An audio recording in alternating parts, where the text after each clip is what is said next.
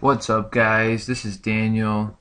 This video is how to make your internet speeds faster. So basically what you want to do when you're if you're running Windows 7, this is like easy way because I have Windows 7.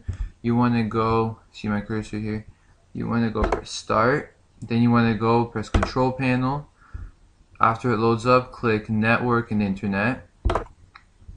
Then click view network status and tasks as you're here, as you can see, I blocked mine out right now. So you want to click right here where it says connections. Then after you click that, you'll have like all this stuff here. You want to go down and then you want to go on properties. It's on the bottom left.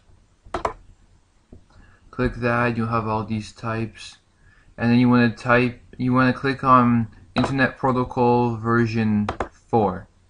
Go to properties on that then you want to use the following DNS server. So the code that you want to type in is 208 67 208 67 222 222.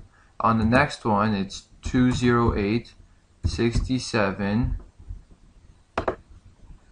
220220.